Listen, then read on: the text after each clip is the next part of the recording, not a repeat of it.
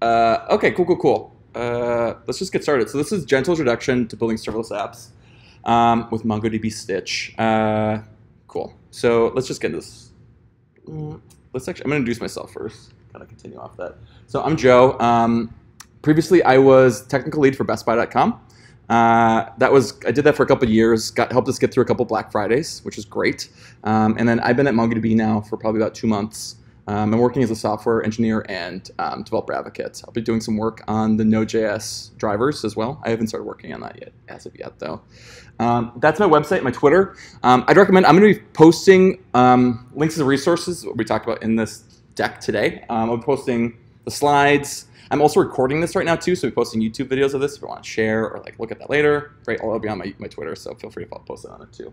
I also post a lot about ethics and tech. Uh, performance, uh, just programming in general, whatever. So anyway, great stuff. That's stuff that's interests you too. So, um, okay. So I do like I like to set ground rules for talks like this. Uh, every speaker is a little bit different, and I think it kind of helps kind of understand how like how we can like kind of work best together. So um, first thing is I want you to know, feel free to like interrupt me today. Um, this is a really small intimate group, so like let's use that, right? Like um, I see this more as like a classroom kind of setting as opposed to like me lecturing in front of everybody. So if you have a question, like go ahead and ask it. it doesn't like get my flow off or anything like that either. Plus, I like like answering the question while we're like in it, you know? Um, we will have questions at the end, so feel free to like jump in if you ever do that later. Or if you don't feel comfortable asking from a group, I'll be here afterward. You can just ask me one-on-one or on Twitter too. So just hit me up there. Um, cool. Let's see here. So the goal of this talk, it's a gentle introduction. So uh, to serverless, I'm going to be kind of introducing serverless platforms in general. We're going to be doing that via Stitch, which I'm guessing no one here has heard of, which is totally okay. Um, but I do want I want to kind of get a quick little poll here of kind of experience levels. Um, who here has is doing serverless work professionally right now? Okay, cool, awesome. Um, who has uh, who wants to learn but hasn't done any yet? Has anyone done like a little bit? Just kind of tinkering on the side a little bit? Okay, cool. Um, and uh, the other question too, MongoDB is who has experience working with MongoDB before? Cool. Does anyone use it professionally? I'm sure a lot of people here have used it like on a side project at some point, whatever. Okay, cool, awesome, um, great. Um, so anyway, the goal today is just like to get a quick overview of it and then get to know MongoDB Stitch too. Um, there will be like a little bit. I'm not going to do live coding. I, in the introduction, we talked about a little bit about doing that. Um, for the sake of time, I'm just going to. I have. We're going to kind of go over some code we kind of written, and I want you to leave this talk not having like to fully understand how to set up an app on your own, but to like know the basics and know what's available, and to know if that's going to be good or bad tool for you to use when you're building up your next application. Um, okay, cool. Other thing too. So this is um this is a new talk too, so I'm open to feedback too. If anyone has any like uh, uh, any thoughts, tips, whatever, anything you think is wrong, I'd love to know. I don't get defensive about it. Helps make everything better too. So, okay, cool. Um, yes, great. Any questions so far? No. All right, great. Uh, all right, so we're gonna be going. I'm just gonna do a quick overview of MongoDB. Um, another question about that. Who? When was? Who used MongoDB within the last week? Who's the last year? Last two years? Last five years? Cool, yeah. Um, so I have a confession to make. Uh, I uh, hadn't used MongoDB for quite a few years. I think a lot of developers have that common experience too. Um, so I was technically for the front end of BestBuy.com, so I was primarily a front end developer. Uh, and I've been using MongoDB for years. Or like I used it five years ago, um, but a lot's changed in it. So I'm hoping to just kind of give a quick little like what's changed since probably last time you've seen it, been in there too. Um, and then we're going to talk about introduction to serverless. We'll talk about what it is, how to use it, pros and cons, what's the options out there, and how does Stitch fit into that kind of ecosystem. Uh, and then last, we're going to go through a guided tutorial um, of setting everything up. All right, cool. Let's jump in. So first things first, um, I'm hoping this MongoDB overview will be fast, and I'm hoping it's going to be useful for you guys too. Um, there's a lot of stuff that, like I said, I didn't even know was new or like MongoDB like featured. Um, so first things first, uh, MongoDB, uh, it scales differently than traditional RDBMSs. So MongoDB scales horizontally, and it does that via sharding. So you can scale up horizontally and split your data up. So instead of buying bigger servers, you just buy different ones and start splitting your different up, your data up on those different databases. As opposed to traditional legacy RDBMSs, you have to buy bigger and bigger databases to split that data up. You can do sharding, but it's more challenging. Uh, other thing too, MongoDB is a NoSQL data store. Uh, specifically, it's a document data store too, which means that you can um, save data um, in the language in data types you're used to, from JavaScript, right? You got objects, um, dictionaries, uh, hash maps, whatever, right? Um, you can save your data in the format you're used to working with it, as opposed to using databases and having to save it in traditional rows and columns. Uh, which makes sense for a lot of developers getting up to speed on stuff, saving, saving and working with the data the way that you use it. Great.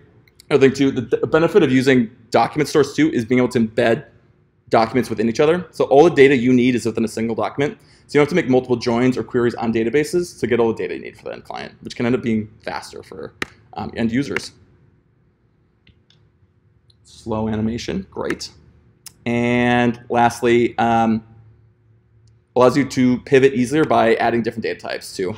Um, I will make a side note on here too. MongoDB now supports data validation at a document level or at the database level. So you just have to use like an ORM to do some document validation. You can actually do that at the database layer these days. Um, and most of the stuff that you can do with a traditional RBMS can be done with a MongoDB databases. Cool. Just has different names. One th thing I've noticed with MongoDB is the naming is kind of weird too. You're going to see a terrible naming all over the place. Um, okay, cool. Some other things here. Um, MongoDB, as of 4.2, now supports distributed ACID transactions. So if you have a sharded database, you can now perform ACID compliant transactions on those data models. Um, it now supports field level encryption, which means you can, you can of course encrypt your entire database, but you can also encrypt specific fields within that database too. Um, and as of yesterday, we're now PCI compliant, which means you can, we're able to save personal, personally identifiable, by, identifiable information in a Mongo database as well. Um, and as I mentioned earlier, as schema validation too. So I'm hoping this is like useful information. Um, I'm hoping that it's stuff you probably didn't know MongoDB did. Um, yeah, great. Uh, okay, cool. So if anyone's any questions about like MongoDB or like what's going on with it, love to chat about that too, obviously. Um, but great, let's just get into it. So I guess any questions so far? Intro? I wanted to just go through that quickly. Okay. Um, cool. Does anyone hot in here? I'm like still like super hot. Can we, where's the Chris? Is it possible to turn thing down or something? Um, uh, okay, cool. So serverless, great. Obviously serverless MN. I see a guy with a serverless sticker up here in front. Probably works with serverless. Um, but for those who don't know what it is, right, this is a gentle introduction to it. Um, what is it? Um, I want to kind of talk about some high-level stuff, but um, basically, serverless allows you, or makes it so that devs don't have to manage infrastructure anymore. You're only managing application code. Um, I love this tweet from Kelsey Hightower. Um, says, I remember the days when I built my own gaming PCs, eventually sold out, bought an Xbox because I just wanted to play games and not build gaming rigs. Serverless is like that. I love this analogy because um, he's not saying like building rigs is bad or they're, they're, no one's building them anymore. Like people are, people still have specific needs for building apps that require full-time servers but 99% of applications don't. Um, and if you're like me and maintaining infrastructure is a pain in the ass, serverless is the route for you, right? And most of us, like most apps, like again, there's always cases where you need to do some advanced stuff, but most of the time you're just doing like CRUD apps, getting and pulling data from some database. Um, and if you want to manage infrastructure anymore, serverless is a great, cheap option for you. So I want to talk about like where it's good and where it's where you should be avoiding it. Um, so uh, serverless. Um, this is serverless in general, all platforms, right? Um, so on a serverless platform, you're no longer managing the infrastructure. So that means that the company that is managing the infrastructure is uh, responsible for spinning up your containers. There's all the orchestration layer they spin them up, they spin them down for you, and you're only paying for the function that you use or the data that's going through the tubes. Um, you're no longer provisioning databases or sizes or like auto scaling up. Typically, the person handling your infrastructure is maintaining patch releases, upgrades, etc. you don't have to worry about any of that. It's totally abstracted away. No capacity planning. Um, so obviously at Best Buy, we had a capacity planning was a big deal for us for Black Fridays. Everything we did, we had to think about how that load was going to perform during Black Fridays, um, and made sure that we could scale up in time. So a big chunk of our work that we were doing was capacity planning. With a serverless platform, you don't have to worry about that anymore. The company's fully managing that for you and scaling. You're just firing off a function to the ether, goes and does some work, and it scales down, and that's all you pay for. Um, there's also been a bunch of academic studies done on the impact of serverless development on teams. So it's cheaper infrastructure-wise. You no longer have to do any of these tasks, but they've actually found that it's increased delivery speeds um, up to 77% for teams. I've got a link to that study down there as well. And they found too there was a 26% decrease in their AWS bill by switching to a serverless platform, which is great. Awesome. Um, so I do want to pull one thing out to you. So uh, something I always get when I talk about serverless is serverless is kind of a what's like a misnomer, right? It's serverless is in fact there are servers you're running on someone's computers. They're just you don't care about it. Um, yes. So I just want to acknowledge here too. Serverless does have servers, um, but uh, we get it, right? It's fine. It's it's fine. We get it. Yeah. It's a, a serverless is is computers, but you the point is you don't have to worry about it um, if you don't want to. So, okay, cool. Actually, I,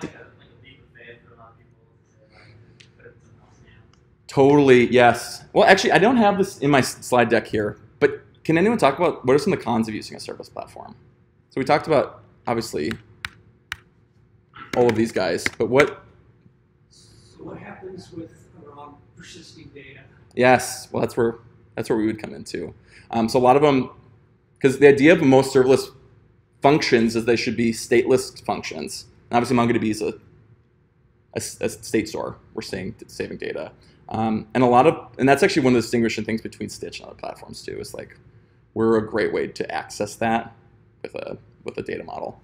Um, there's another thing I want to bring up too with serverless in general is by taking that leap of faith, you aren't you're no longer handling that and in some cases, you might have an instance where you haven't hit your function for a while. So that's that's that function is not hot or not fresh in cache in someone else's server. So that your uh, container is not spun up. Um, and it takes there's can be slow times to kind of get that function spun up in time too. And there's ways to mitigate that by like just firing off functions just to keep things hot in memory and then, but you lose that control. Um, and that'd be an example where a serverless platform would not make a good choice for your application if that's needed. Um, but again, for like 90% of applications, it's not that big. If you're like Netflix or Google, sure that matters, but um, most of the time it doesn't matter. That's true too. I mean, if you're hitting that thing a lot, you're probably it's probably you have a good chance to keep that thing hot in, in, in cache in someone else's data centers. But you don't know. You don't know. You're probably okay though. Um, yeah, I mean, so personally, I use it a lot too for apps that are, yeah, where performance isn't like I don't if if occasionally we get a slow request, not a big deal. Like, it's not a great experience, but every once in a while you're gonna hit that. That's okay. Um, or basic CRUD apps, where I'm just kind of doing some basic operations. I'll usually pull it out of a serverless platform too, and I just do it selfishly because it's just cheaper, which is I think a big sell for most business people are in charge of like the budgets. It's an easy way for you to sell that to your boss or technical leads on your team too.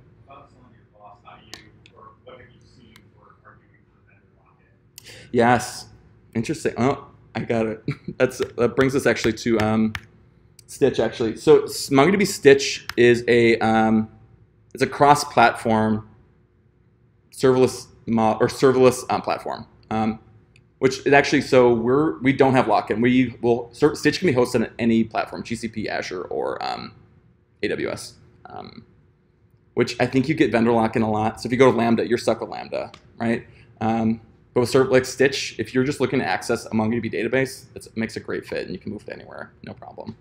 Um, we'll talk about that more in depth here. But um, yeah, let me go over that one more time. So MongoDB Stitch, we, we unveiled it probably like two years ago.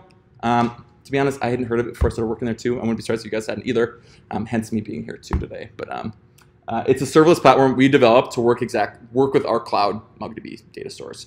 Um, and it can be hosted on any any platform. It's platform agnostic, uh, which is great. So if you're yeah, if you're on AWS and you want to put your data, you want to like have low latency times and within your data center make function calls, you can do that. Doesn't matter. Um, cool. So what is it? Um, be Stitch allows you to. Yeah, I got a question back. Yeah. Um, unfortunately not. So it has to be like right now. It's only for cloud providers, and maybe in the future. I don't know that for a fact. I can I can I can for sure figure that out. Because um, right now we have um, MongoDB. You have of course the Community Edition. It's always free. We have the Enterprise Edition. You pay a license for, and now we have MongoDB Atlas, which is like our host, hosted cloud option. Um, but if you sign up for Atlas and have Atlas host your data, Stitch comes free with it. Um, and of course, there's free tiers. We'll talk about stuff too. But um, cool. So Stitch. Stitch allows you to do a bunch of cool stuff. Um, query anywhere. Uh, so you can query like you would from the MongoDB REPL uh, in any application. So it's primarily for like front-end applications. You can just write out like a MongoDB query like you normally would from a REPL, get that data, and use it on the client side. Uh, you can do functions. So I'm going to be showing it. I'm going to be doing. No, we'll get to it a little bit. Functions. You can write code just like you would with a Lambda function. You can do that exactly with our with MongoDB Stitch uh, and triggers. This is cool too, especially for a persistent data store. So you can do you can trigger some sort of function that runs whenever some sort of event happens in your database, like a new item gets posted to the journal, or um, the example I'm going to show you today. We're going to set up a um, we're going to fire off an email with AWS's um, simple email service (SES) whenever someone shares a journal with, with you. So this is going to be triggered. It's going to look to see if that event has been triggered. It'll automatically fire off a function and do that data or do that service for you. You can do anything you want, right? Um, and auto mobile syncing too. So if it can it can push data to mobile devices if data has changed on the database. This is still in beta, and we're going to talk about this. There's going to be some changes coming to this in a little bit, but all right. Uh, and I want to show this too. I put together, this is like a sample MongoDB cloud architecture that you could possibly use. Um, man, I don't have a mouse in, in this mode here. Um, so this would be basically, Stitch works great for front-end architectures. Um, and it can be either mobile or some sort of front-end client-heavy application. And um, either the backend or the front-end services can communicate with Stitch, any of the triggers, or any of the APIs, and then access data in the MongoDB Atlas cloud store. Right, so you're saving data in the cloud. Stitch kind of sits on top of that, and you can access that on any via any of your client applications via serverless serverless calls in Stitch. Cool. All right, uh, let's see here. I am gonna skip through this. I do want to get to the multi-region though. I think one of the cool distinguishing factors here too, which a lot of other data stores don't do, if you host your data with Atlas and use Stitch, um, MongoDB will automatically, you can set it up so MongoDB will automatically split up data and distribute that like around the world for you. So remember we talked about horizontal sharding? Um, a great feature that too is you can locate data close to where your users are. So for example, you have a user collection. You can put all your users for those different collections and shard them by where they are geographically and save that data to them. Um, the benefit of that then is you get uh, a uh, lower latency. So the data is right where they need to, and it automatically splits that data up for you and keeps the data close to your customers or whoever. Cool. All right, great. Um, any questions so far? Any questions so far? We're going to be going through all those functions like query anywhere, uh, uh, the, the functions and triggers we're going to be going through today in our live demo. Any questions so far? Okay, cool. So Stitch, um, how does it compare? Um, obviously, the big players right now are um, Azure, GCP, and AWS Lambda and Firebase too, um, and Stitch. Just we play with those other players, like I mentioned before. Um, I think um, I think the key thing here is flexibility, and it, it, should be it MongoDB Stitch is useful if most of your application is going to be on the client side of your application. So you don't have databases like large monoliths or microservices. They're doing all the work. MongoDB makes a great fit. Um, and if you're doing, if you're, um, you want to abstract the data, put that on the client side to access data from the, a database, particularly from a MongoDB database. So if you're using MongoDB for your backend, it makes a lot of sense to just do that. And you don't want to build out servers that are running 24/7. You can use a Stitch model to access that data directly. Uh, and MongoDB Stitch and Atlas works seamlessly, if you already have a MongoDB database, you're ho- hosting it, it's really easy to import it in there, start using it immediately too. Okay. Yes. Yeah, and these are all, all these great are really great functions too. Um, yeah, that, comparatively, the price is about the same. Um, really, the thing I think you got to think about is what kind of data are you using, um, and how do you want that data being used, and are the other providers? It's like is geospatial sharding important to you? That makes that's great too. Um, and if you're already using MongoDB databases, that's like it's like a no-brainer um, to start using Stitch. Cool. All right, cool. So let's see here. Um, I'm going to go through here guided serverless service. This is where the bulk of the talk is. Um, I am going to uh,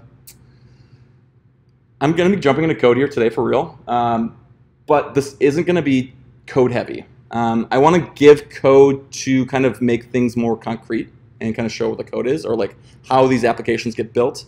Um, but personally, what I find too with like talks like this, I don't remember any of the code. Um, and like I said, I want this talk for you to just know about what's there and available, and if and when it's should be used by you in the future. Right? There's lots of great applications. There's lots of other great databases. Awesome. It's not going to be a great fit for everyone, but if it is, I want you to at least know so you can come back to it. That's that's, that's the goal for today. So, anyway, let's jump in. Um, we're going to be building a journal with React um, and MongoDB Stitch. So I'm gonna just fire this up here real fast. This is a little, actually, you know what? I think I got it running here. Um, there it is. Localhost. Cool. Um, great. Um, so I've actually logged in already on here, but what we're gonna be doing is it. Oh, thank you. Great. Yes, thank you. Um, this app's going to be doing basic all the CRUD operations for a journal. So um, server plus mn um, new post, great, and submit. So we're going to saving that to our MongoDB database in the cloud. You can make updates to it. New post, great. Of course, delete it. Um, another cool thing we're going to be doing today too is implementing the share function. So it can share this with anybody, and it's going to fire off an email notifying them that this journal's been shared with them. And then when they log in, be able to access that and see what's going on with that your post. Cool. All right, cool. I'm just gonna blow that up then too. Okay, cool. I always keep a GIF backup in case either I can't connect to the internet or something dies. At least someone I can at least go through something if it uh, doesn't go through. But um, let's go through this app architecture again too. So we have our, our Atlas Cloud MongoDB database in the cloud.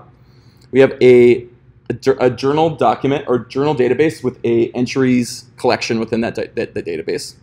Um, and within Stitch, we're going to be building a trigger. So when someone clicks on share, we're going to be firing off a function called notify users of share, and that'll be firing off another function to AWS's simple email service to send them an email notifying them that they've been shared with. Uh, and then we're going to have the React journal kind of consuming data from that Stitch app in real time. I'm kind of go through that works. Can I get a show of hands too? Who's um, who's like a front end engineer in here? Cool. Any React people? Who's use React? Okay, cool. Gotcha. Um, is it mostly back end people in the house right now? Some nods. Yeah. Okay. Um, cool. Awesome. I find uh, serverless is a great transition point for front end developers too. Um, we're used to not managing infrastructure and building a client side application and rules and logic. Uh, and it's really easy for us to just kind of get this spun up. Um, I picked it up pretty quickly too, so I hope you guys do as well. Okay, great. Um, first things first, I do want to show you quickly what this looks like, but we have um, setting up cloud.mongodb.com. Um, if you're going to set up a new MongoDB database with Atlas, oops, you'll be setting up a new Atlas Cloud or cluster. So let's just go through what it looks like here. So this is actually a cluster I'd set up already. These are some of the, you can already see some of the logic that I just showed you here today. Thank you. And great. So building a cluster is super easy. You can pick the provider that you, you want to host it on. This will host it wherever you want it to be, and you can pick the region that's being hosted on as well. Um, note here too, it's important, the free tier. It's especially when first starting out, just stick with the free tier stuff. Um, I've been using this a lot. I've been giving tons of talks, demos, and working this forever. I've never hit. I've never had to pay for it. I don't. I've never hit it. So I, we can go through the pricing model. I can't even remember what it is, but um, it's pretty generous. Uh, yeah.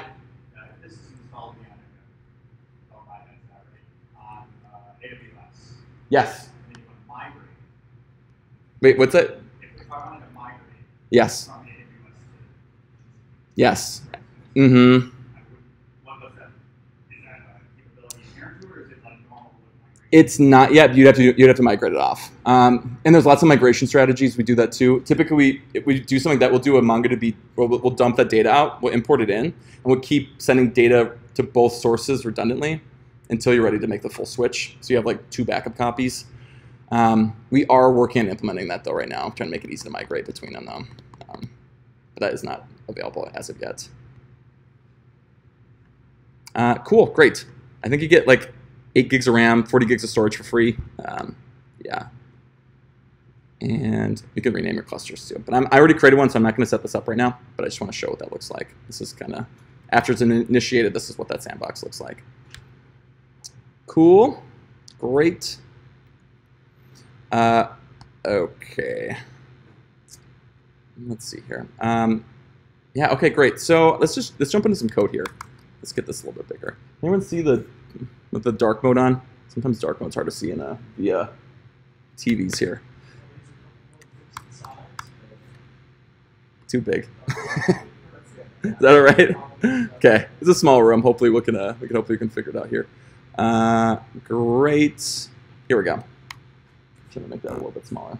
Uh, so this is MongoDB. Stitch has a JavaScript npm package. We just import.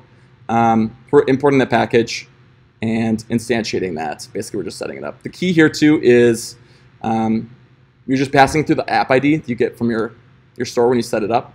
So let's go back over here. I'm gonna go to my Stitch apps in the GUI,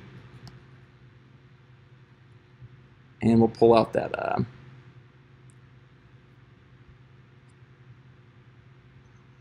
to jump back in here.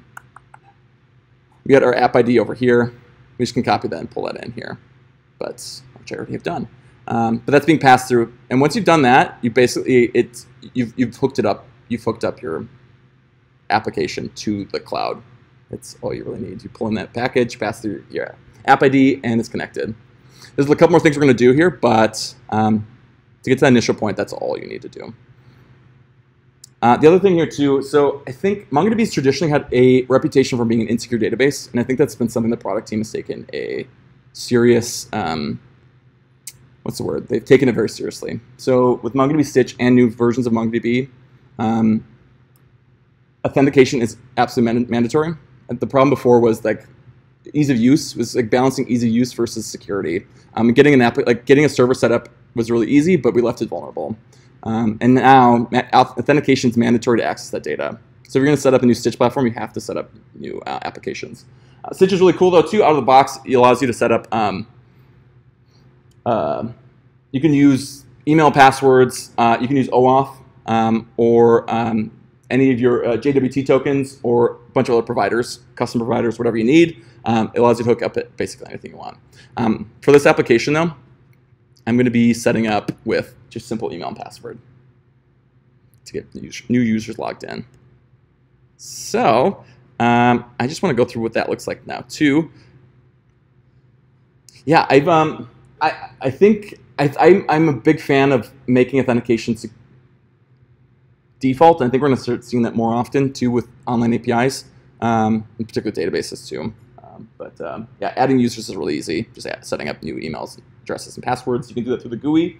Um, or two, you can set it up so that users can be set up through the application too, which I have not done for this demo. But okay. Okay, cool. So um, we've set up some users. We've got our application set up with uh, the SDK. And now we want to actually start making queries from our, our front-end application. So how do we do that? Uh, well, let's look at the code one more time. I do want to go over this thing here. So um, when we're instantiating our, our front-end application, we're creating a this.mongodb object, and we're basically getting that service. We're basically hooking up our application to um, to our cloud store. Uh, and the key here, I want to show you down here. What we're doing is passing through that object down to the props of the child's React components. And let's take a look at what that looks like over here. Can I make this bigger? Journal, yeah, here we go. So this is that journal. This is the this is the component we're passing it down to. And you can see here on the props, we're requiring that that MongoDB object is being passed down to that, that. And then the constructor, what we're doing is we're accessing the exact collection from that. So we have, we're accessing our journal and then our entries collection within the journal database. I have this all set up in a config file somewhere else, which is why it looks like that. But okay, cool. So we've instantiated it, we hooked that up. Um, and the journal, what's doing, it will go and get the, the, initial things from that database in that collection. And that's actually, we can go down to the componentDidMount method, and what we're doing is just running entries that find. So this is the exact MongoDB query language you'd use in a REPL or anywhere, like just from the MongoDB. Should, should be one-to-one, -one, um, which is awesome. So we're on the, front, on the front end client-side application, we're making MongoDB queries to go get that data exactly how we're used to getting it. Um, this is just getting that initial set of data, but I do want to show you some other ones. So this is add entry. We're constructing a brand new document. And then we're inserting that into our, our collection, the entries collection on that, on that journal database. Same thing with removing, right? We're deleting based on document IDs, whatever, and then updating the state of the application with that removed item on there. Updates, all that, right? Um, should be still the same. Cool. So key here with the query is once you've set up that connection to the cloud, you can start making queries from the client-side application like you would on a server. You can do this on, so this is JavaScript. I think we have SDKs for iOS, Android, and JavaScript right now. So most of the big um, client-side application languages and I don't know about roadmaps for more to come, but I'm sure they're I'm sure they're doing doing some work with that. Um, yep. So you're used to the same query language. You can access on the client side. Um, yes. And we haven't talked about this much too, but we can manage user roles for that data too. So we're setting new user and database. We can control what data they have access to. It's not just a big fire hose of data. Actually, maybe we can. Uh, yeah, yeah, we're not gonna get that to today. Okay, so any questions so far? We've covered um, setting up the SDK. We've covered setting up new users and authentication, how it's mandatory. And we also covered basic queries, like the CRUD syntax too. Um, you can also do more complex stuff too, like aggregation pipeline, more complicated stuff from the client side as well. Anything you can do on server, server side, you can do on the client side with Stitch. Yeah, question, yes.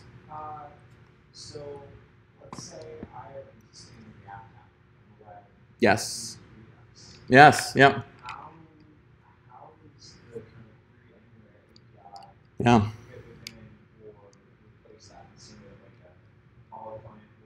Yeah. Good questions. The question was, um, how does how would uh, Stitch play with Redux or another data store besides just straight up React states? Um, yeah, and that's a great question. I think it would so like these functions still be the same, um, but instead of updating that component state, I think you just update, fire off a, uh, an action to the reducer to update the store. Um, so, yeah, exactly. Um, not out of the box. You'd have to like you have to write it out to do that. But um, so similar like how we're making the queries here in that component. This is actually probably how I'd recommend doing it with a Redux application. Like you'd want to have that logic within that component, um, and then the state management be there. But yeah, you want you'd be replicating that's that that state um, locally and in the cloud. Yeah. Oh, totally. Uh, you totally could if you want to go like extreme with it too, and like have all of your be managed in Stitch. You could totally do that. Um, yeah, and I'm trying to think of like things where that might be useful. And like a lot, like obviously, I, honestly, I wouldn't recommend all the time. Like if you had a form, I wouldn't be updating the state of a form in the cloud because that latency issues. I'm going to wait for that. I just want that saved locally. But there may be instances where you want to have that managed everywhere. All right, cool. Um, great. So services. We talked about how this application we're going to be setting off, firing off emails if you get someone shares that the database server or shares a journal entry with you. Um, out of the box, Stitch actually has a bunch of stuff it integrates with, um, and I'm just going to show this quickly. Let me make this bigger. Um, so I'm going to add a service here too. So out of the box, we have Twilio, so sending and receiving text messages, responding to GitHub events, um, and there's 20 plus AWS, serv AWS services we have access to, or just simple HTTP requests to kind of integrate with anything wanted to. Um, I am going to show, let's see here. Uh, actually, what, I'm going to go back here. This is my simple email service service hooked up. Um, and can I mess with this on here? Oops, got to change those keys now. okay, that's fine. Um, here we go. So this is a bunch of the services that come that integrate AWS out of the box. And again, these are just ones that, and we're gonna be, we add new ones all the time. But it has an HTTP service, so you can hook up anything you want, anything that accesses the web, you can connect with easy. Write functions that, to talk to that. Um, I'm not a big AWS guy, so I don't know what many of these acronyms mean. but, but it does all these. Okay. So um, we're going to be creating a Stitch service that allows us to send emails out. So we need to do a couple things. We're going to need to, uh, well, let's see here. Wait. This first thing you want to do is we add a service. So we're going to we add the AWS simple email service here. Also, we're importing the service in, so we have access to it. As you saw in that previously, I put the or the API keys in there, but it basically allows our Stitch app to have access to these services now. Um, and then in the next step here, we can write a function then that allows us to fire that code off. So let's go, I'm going to show you what our functions look like on here. Um, and I've actually created a, a function called notify user of share. This is what that function looks like. Um, one thing to note, Stitch functions have to be written in JavaScript. Um, for the time being, that's the, the language you, you have to write them in.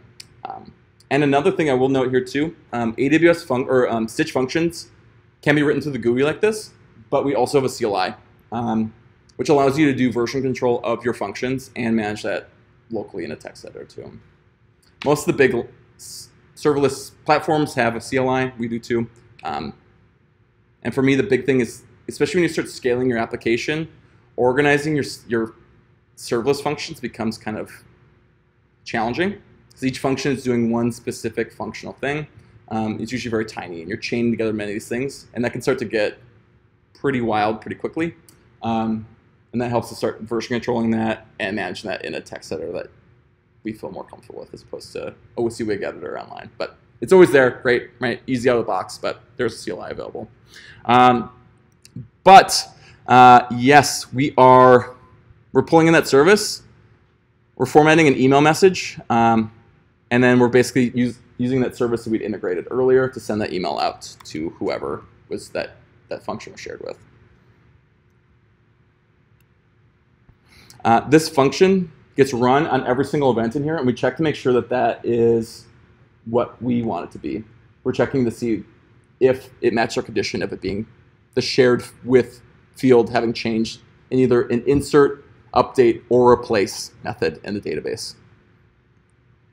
And if it is, if that field was updated or changed, then we fire off that event. That's basically what we're looking for. Okay. Cool, little picture of that. Uh, and then lastly, the trigger. So this part I think is really cool too, and I think makes sense with a service like Stitch, where you are the service is sitting right on top of the database layer. That's like that's what it does best. Um, but we're basically waiting for those database changes to happen, um, and we can fire that on there too. So I'm going to show you what that looks like. Um, we're going to create a brand new trigger in here. And this is looking for a database trigger. You can also do things that'll run once a day, like a cron job, or if some user logs in, we fire up event. We're looking for some sort of database change on here. So on shared um, event enabled. We pick which where the, which cloud or where we want that to be pulled from, which database, which collection within that database, and then which updates we want to be looking for. So if something's inserted, updated, or replaced, we don't really care about deleting because it's gone. We don't need to notify anybody if it's gone. Um, full document allows you to have access to that full document uh, in the logs and um, and the application that fired off that event. And then you can choose a function. We wrote this last function, so we just say we want to fire off this serverless function every single time this event gets triggered in our database. And that's it. I already did this, so I'm just going to cancel it. And then, great. Okay, so we have one last piece here, actually. Is there a reason you don't want access to the full documents? Um, it depends. Um, you wouldn't want it. EHI, you don't want That's true. Yeah, and I think you can control that too. Yeah, if it's like yeah, it's uh, it's secure data. If you did like so, you did like field level encryption, um, it would show you the hashed value for that too. But um, I don't know if you're trying to like reduce because like if you want to reduce the load over the network too, make this the size of that thing smaller. access to any of the, the JSON or JSON structure if you turn that off still? So you can still I think you only get access to things that are changed in there. Um, So you'd only see the update events and then the field that got updated, I think, by default. But if you want to access the full document that got changed, so for example, like we want we'd want the whole document so we could share the rest of the data to those users. Um, but good question. Okay. Oh, great. Okay, perfect. Um, triggers. And you can set up multiple triggers per collection. Typically, you see that with a service application. You're kind of chaining together multiple things. This happens to this, then this, then this, and this. Kind of goes through a trigger pipeline until eventually gets transformed enough and ready for that the user or whatever you want to do with that data. Okay, last things. Last thing here. This one's pretty simple. The logs. Um, I'm going to be using the logs here to kind of show how the email is working because um, I've set up these users or users are using my application. I can't obviously log into my user's email application, um, and I'm not emotionally prepared to open up my email in front of all y'all today. Um, so we're just going to look at our logs to make sure this event's actually happened as expected. Um, logs are extremely useful for, I mean, troubleshooting any sort of platform, but especially for a serverless platform. That's where this is about the only insight you have to what's going on behind the scenes. Um, and sometimes you have to use it to go do some sleuthing to kind of do some troubleshooting what's going on. Um, but yeah, also keeps track of everything that's in there too. So let's take a look at that. Um, so this is right in the Stitch logs here, and uh, great. Yep. So by default, it shows you everything in here too. Um, this I, this is the I deleted the I think this is the test entry I created earlier today. Uh, doesn't show you anything on there. Okay, logs done. Um, but oh yeah, this is the one I made at the beginning of the thing today. Uh, let's test this out. I want to. What I'm to do is make a new entry on here. Let's do shared post, and please share this with everyone. Okay, we're not going to share with everyone, but um, here we go. I'm going to share this with a new user. I think I have one in here, libertystitch at gmail.com. It's a user that's already in our database or in our users. Oh, Liberty Stitch, I think it's one, and share. Okay, cool. And then, so we got that shared with, that looks confirmed. But let's check the logs to make sure that that's actually happening as expected. And this looks really good. So we have this trigger. This unshared item just got triggered, and this update one just also got triggered. So let's make sure this is what we expect it to be. Uh, great. Function insert one. Shared post, and yes. Yep. So this is the post we just created. We inserted this into our database. Looks like we got an error. Can I access? Okay, because so, we didn't, we didn't, no one was shared with it, so it errored out. Um, and then you can see on here we updated our field to add that new user to the shared with user field, which is an array in our database. We're pushing that. We're updating and pushing a new instance of that to the array in our document for that for that journal entry. And then you can see here this trigger was also was fired off, and it's the unshared item trigger. You can see that this is the email message that I got sent off to that user. Let me create a bit. not very pretty, but uh, that should have worked. Okay. Cool. Um, yes. Um, so that's it for like the, the live demo. Um, I'm gonna do a couple things here. I'm, I'm gonna be posting. I've written a uh, a blog post. It's a little PDF document. If you're interested in redoing this, it kind of steps you step by step by step on how to do this on your own. Includes the, React code, everything to do. Um, I also include some API keys too, so you guys can get set up really easily on there too. Um, but if you're looking to get started on it, it's a great way to just kind of get fired up and kind of copy this on it too. Um, covers all the basics that you need to get running on it.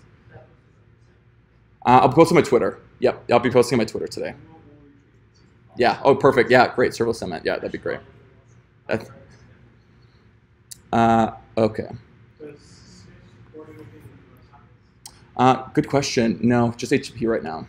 Um, yeah, that'd be awesome though. I'm like even think I'm like getting flashbacks to Meteor with um, WebSockets with their MongoDB data store on the back end. Um, no, not right now. It's it's all it's all stateless, and I think I don't know. Has anyone done sock sockets with uh, serverless components before? I haven't heard of that before, really. Um, you cut we cut a little bit. Oh, really? Awesome. I wonder if there'd be like a pricing difference because it'd be keeping open your containers or that like instance longer. So you're going to be probably paying more for that. But if I mean, I could especially see that for like an IoT device or something where you want like near real-time analytics or like real-time data streaming in. That could be really useful. Um, so long story short, no, don't support WebSockets right now. Um, but I, I, I may, I'll ask the product team about that. Actually, that's a really good question.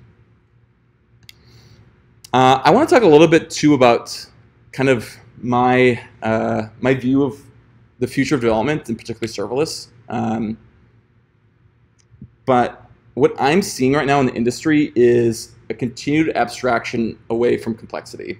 Um, we're seeing that with like things like Firebase, AWS, GCP, all of them, and Stitch. We're all like everyone's trying to make scale and development easier. And I think that generally in programming, we're seeing higher order programming languages abstracting away garbage collection and memory management and that sort of thing. I think we're seeing that now happening at an infrastructure level. Um, I think we're at the beginning of serverless, and I think it's going to be massive. I think it's going to blow up because um, Kubernetes is like hot right now. But has anyone, do you have any Kubernetes devs in here? You got one? It's a couple. It's, do you like working with Kubernetes? Kubernetes is fucking hard. It's hard to work with. You do. No, it's cool. It's awesome. And uh, I think there's, there'll continue to be a need for it. Obviously, like these cloud providers are dealing with massive orchestration layers. It's a, a little learning curve. It's hard. It's it's hard, and we haven't quite figured it out yet. And most people don't need to learn Kubernetes. Like most people shouldn't have to learn Kubernetes to have to spin up an app. And Kubernetes is probably overkill from again 95% of applications. Um, when you do need to manage the infrastructure at that level, great, awesome. Or you scale up that, like, cool. Um, but I think we're gonna. I think the industry is going to move towards abstracting that away as much as possible, and I think they're going to get better about it. It's going to get faster. It's going to get cheaper. Um, yeah, I really don't see it going anywhere anytime soon. Um, there's one other thing too I want to note here too. Uh, you probably don't know this, but MongoDB bought a company called Realm. Had anyone heard of Realm before? Yeah. Oh, really? Yeah, yeah, yeah. Yep. So we're this is coming 2020. Um, all the features I showed you today are going to still be there, but we're basically moving everything you saw here under the Realm brand. Um, Realm has been used for yeah database like mobile database management kind of stuff, um, but we're basically moving all of our, our serverless stuff under that, that, that platform and probably and the reason for that is more, more, people have heard of Realm than Stitch. No one's heard of Stitch before, so they're trying to move it to something that makes people have heard of a little bit more. Um, but also Realm's awesome too. So everything with Realm is staying the same too. So if you're, you're using Realm, love it, cool. It's all staying the same. We're just moving our serverless platform under that umbrella as well. So branding may look different here in middle of 2020 next year, but everything's gonna be exactly the same. There'll probably be more features as well. Um, I guess, is anyone else who's been doing serverless, does anyone have any other thoughts on the future of serverless or kind of where the industry's going? That's okay. I'm putting everyone on the spot right now too, so it's. I just think it's very exciting. Yeah. No, absolutely. It's cheap. Right. I hate paying for stuff for side projects. I'm not paying for anything on that. Yeah, absolutely. Absolutely. Yep. Oh, that's Netlify is dope too. Um, actually, I'm working on a MongoDB plugin for Netlify right now too. Um, hopefully that'll be out soon.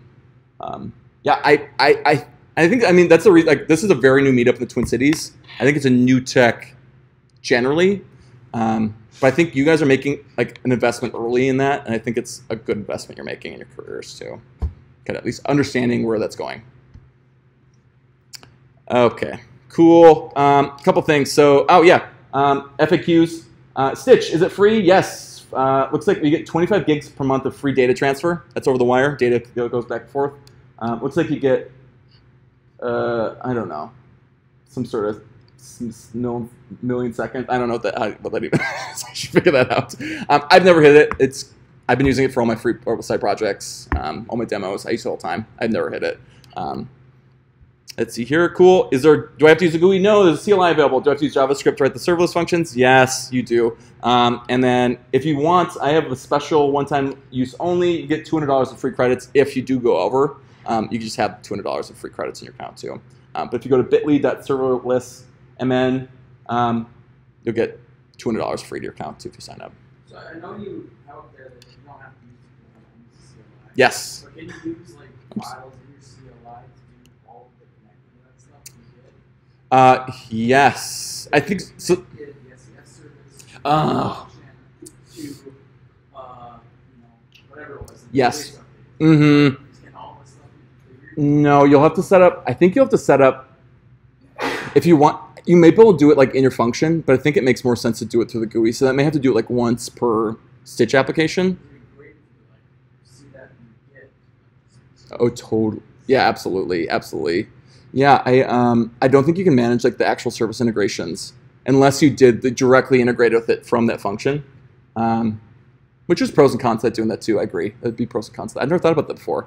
Um, could you do it? Yes, you could. You totally could do it. Um, and those are just the ones we have. Click a button and it just kind of integrates for you.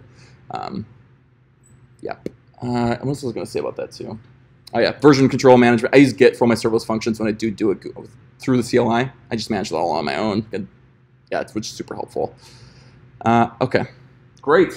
Uh, almost done, I promise. Um, so today we talked about. Um, I went over some stuff with MongoDB. So some updates, PCI compliant, distributed ACID transaction compliance. Um, I don't remember this stuff we talked about. Uh, whatever, security, ASC compliancy, that sort of stuff too. New features. Um, we went through introduction to serverless, and then we talked about we configured a new Stitch app, the journal app. So we set up the new SDK. We set up some users in there to connect to the SDK. We made some queries, so those basic CRUD commands from the front end of a React application. Um, and then we created a service with AWS to send out emails, and we triggered that, and we checked the logs to make sure that was actually happening as expected. Cool. Um, couple closing thoughts here before I release you to the hounds. Um, so I'm new to MongoDB. Like I said, I just started a couple months ago, uh, and my new like my new engineering training was university at MongoDB.com, and it's totally open to everybody. Um, all my technical training, you can go. It's like they have like intro 101 courses, schema design, whatever, to like nuts and bolts of how does the WiredTiger storage engine actually work from like a hardware level. Um, you can get as deep as you want in it, and it's totally free, and it's exactly what we use internally to learn the product. Um, so totally check that out. Other thing I'll, I'll, um, I'll hawk here too, we have a MongoDB community Slack channel. So that's a great place to connect with other people if you're having problems with MongoDB, you have questions about it, pricing, how does this work, this thing screwed up. Uh, I want to connect with other entrepreneurs who are using this and trying to scale and dealing with problems. How do they deal with it? It's a great place to go and talk to people about that too. Um, Cool. Uh, I'll be posting this all these resources on my Twitter today too. But if you use that link, you get two hundred dollars in free credits on Atlas. Um, I've never had to use them, but it's great to have a couple bucks in case something happens. Uh, maybe your app goes viral and you have to spend a couple bucks to keep it uh, keep it up and running. You know, never know. Um, and then there's documentation there for Stitch on the bottom there too. Cool. Oh, I got a GIF here of Keanu Reeves. There we go. Thank you so much for having me. I really appreciate you guys have been awesome. Amazing questions. Um, yeah, no, it's been, it's been a blast. And uh, yeah, again, that's my thing. Follow me on Twitter or whatever if you want access to that stuff. We'll be posting afterwards. Serverless MN will be doing that too. And thank you. Yes. Oh, and swag. I have um socks.